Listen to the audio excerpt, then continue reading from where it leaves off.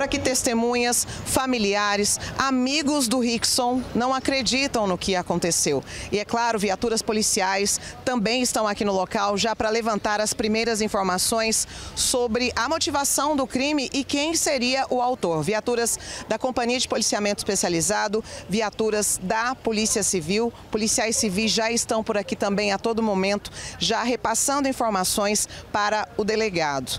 O homem, então, já está sem vida. A gente acompanha que por aqui já teve uma viatura também de resgate, porém, quando essa viatura chegou, já não era possível fazer mais nada. Esse homem já estava morto. Algumas testemunhas aqui contaram, mas é claro que isso precisa ser confirmado, é de que pode se tratar, talvez, de um acerto de contas, já que o Rickson teria tido alguma passagem pela polícia, mas é claro, é muito cedo para afirmar. Muitas pessoas passam por aqui, nesse cruzamento está movimentado, muitas pessoas querendo entender o que, que aconteceu, por que, que esse crime teria acontecido em plena luz do dia. Aqui é o cruzamento, a gente vê o Poço Santa Fé, é aqui bem na região central da nossa cidade. As equipes da viatura permanecem aqui no local, todo o local já foi isolado pelos militares para que as pessoas não tenham acesso lá no interior, onde o Rickson ainda está sentado. Ele está na posição exata de como ele foi executado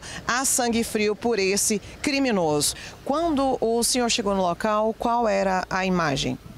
Quando chegamos no local, já estava a polícia militar, que chegou primeiro do que a gente né, nessa, nessa ocorrência. Fizemos todas a, toda a sinalização para afastar os curiosos que estavam aproximando e avaliamos a vítima. Né? Naquele momento, a vítima já aparentemente já estava sem vida.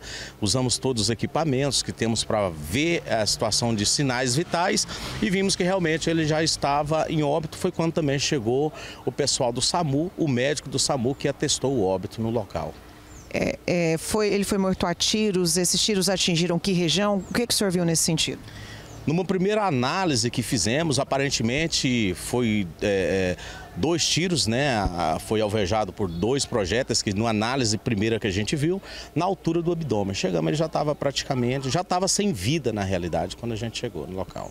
E é claro que essas investigações vão continuar e a polícia vai querer saber aí o que, que teria sido a motivação desse crime, é, se um ou dois executores, se esse crime foi praticado em uma motocicleta ou num carro. Algumas informações já foram levantadas e vão ficar em segredo de justiça.